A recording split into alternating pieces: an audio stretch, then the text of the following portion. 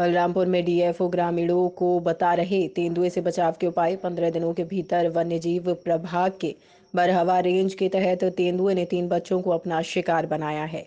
प्रभागीय one अधिकारी Sohelwa M सोमारन लोगों को तेंदुए से बचाव का उपाय बताकर उन्हें जागरूक कर रहे हैं।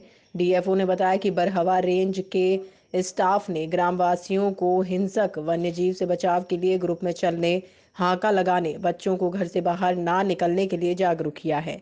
साथ ही संभावित स्थलों पर लगातार पेट्रोलिंग करते हुए लाउड स्पीकर व पैम्पलेट के माध्यम से लोगों को जागरूक किया जा रहा है। घटनास्थल के आसपास पिंजरा व ट्रैफ़िक कैमरा लगाया गया है। उन्होंने बताया कि तेंदुए से बचाव के लिए लोग खेतों में दो से पाँच के समूह में रहें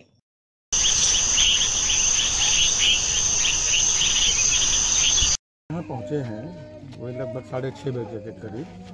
तो जनता का बहुत बड़ा आक्रोश था, क्योंकि इस तरह की घटनाएँ हमारे जंगली क्षेत्र में बहुत हो चुकी हैं। अभी दो घटना, दो बच्चे लाल नगर में इस पर करुआ या जो भी जंगली जानवरों का ले गया और तीसरी घटना यहाँ पे हो गई। अब इसके पहले भी कई घटनाएँ हुई हैं जंगल से जो जानवर। अब दिक्कत ये है कि जंगल वाले, जो जंगल में इनको आहार मिलता था, वो जंगल में विलुप्त हो गया, जंगल में आहार मिल नहीं रहा।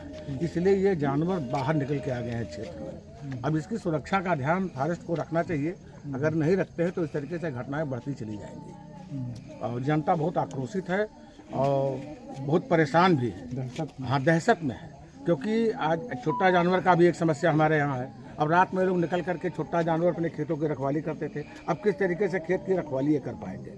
सबसे बड़ी दिक्कत है, इस तरीके से आतंक जब मचा रहेगा जानवरों का तो ये खेत नहीं अपना रखा पाएँगे। तो भूखों मर जाएँगे, भूखमरी के कगार में पहुँच जाएगी जनता यहाँ किसान भी परेशान है कि हम खेत की रखवाली कैसे करेंगे? अगर खेत में जाते हैं तो वहाँ तेंदुआ या बाघ इस तरीके से हम लोगों को ऊपर आक्रमण कर सकता है? कल जैसे आपने सूचना दी फिर अधिकारियों को हाँ अधिकारियों को मैंने सूचना दिया। डीएम साहब से मेरी बात हुई। डीएम साहब ने तुरंत कन्वे किया सबको। एस एसडीएम साहब आए एसडीओ साहब आए डीएफओ साहब आए रेंजर साहब थे थाना अध्यक्ष थे सीओ साहब भी आए। सब लोग आए। मौके बारह एक बजे रात तक यहाँ मौजूद थे। देखते रहिए डीबी भारती समाचार। नज़र हर खबर पर।